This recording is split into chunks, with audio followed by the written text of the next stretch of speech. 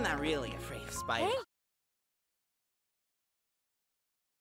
Is it okay to come out now? you flyweights. Cappy was scared of the itsy bitsy spider just like you, Baguette. Nah, I wasn't scared. I just went into the bathroom to make sure Hannibal had fallen into the toilet. Ah! hey, you! Keep those hairy legs away from me, okay?